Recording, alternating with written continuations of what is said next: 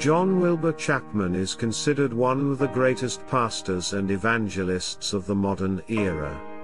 In fact, no one up to that time had been an evangelist to as many nations as had Chapman.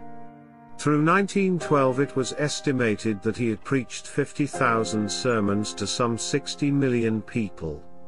However, it is not Chapman who deserves the credit or glory. All servants of God understand that we are only that, servants. God works through his people in different ways as he sees fit. It is tempting to glorify man, but we are here to glorify God, who gives us the honor to be used in his service, small or large. So rather than revel in Chapman's accomplishments, let me share a story he told at a prayer meeting one evening. Chapman recounted an incident during a prayer meeting where a man shared his testimony. The man recounted, I found myself at the Pennsylvania depot, destitute and homeless. For a year, I survived by begging on the streets. One day, I tapped a man on the shoulder and implored, Sir, could you spare a dime? Upon seeing his face, I instantly recognized him as my father. Father, do you not recognize me? I inquired. He enveloped me in his arms, exclaiming, I have found you, everything I possess is yours. Consider the irony, there I stood, a homeless individual, seeking a dime from my own father, who had spent 18 years searching for me to bestow upon me all that he possessed. As this man testified, our worth is not in what we have, or what we've accomplished, it is in the fact that Almighty God chose us, saved us, and loves us without condition.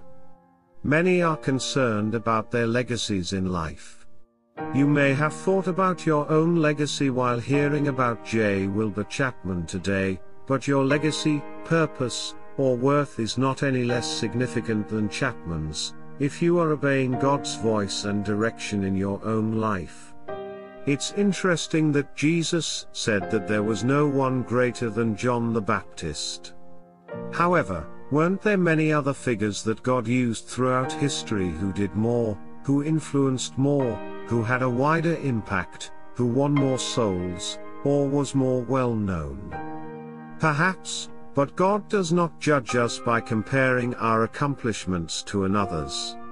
He is only concerned about our obedience to what he has asked of us. In Luke 17:10, Jesus told his disciples, So you also, when you have done everything you were told to do, should say, We are unworthy servants, we have only done our duty. In a world that emphasizes greatness by the magnitude of our accomplishments, may the Lord remind us always that we are only servants, and it is not our duty to glorify ourselves. We are happy and honored that we can be used in the service of our King Jesus, to whom we owe everything.